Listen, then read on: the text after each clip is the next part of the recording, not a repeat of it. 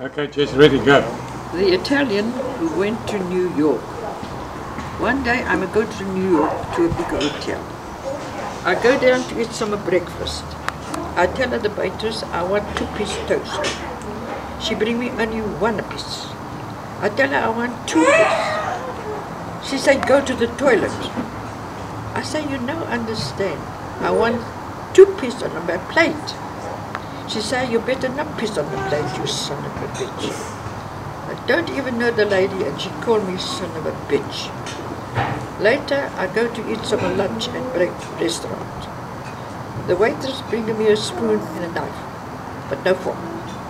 I tell her I want a fork. She tell me everybody want a fork. I tell her you no understand. I want a fork on the table. She say you better not fork on the table, you son of a bitch. I don't know the lady and she called me a son of a bitch. So I go back to my room in the hotel and there's no shit on my bed.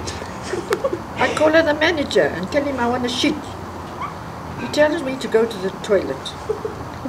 So I say, you don't understand. I want to shit on the bed. He say, you better not shit on the bed, you son of a bitch. I don't even know the man. And he called me son of a bitch. I go to check out.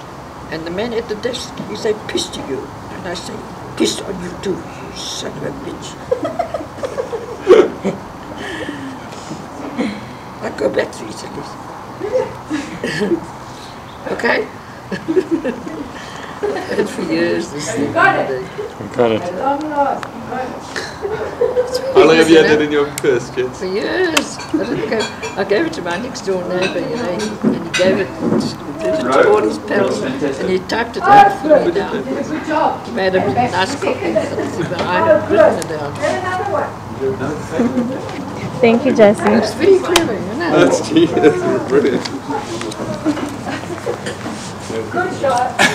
That's your old granny.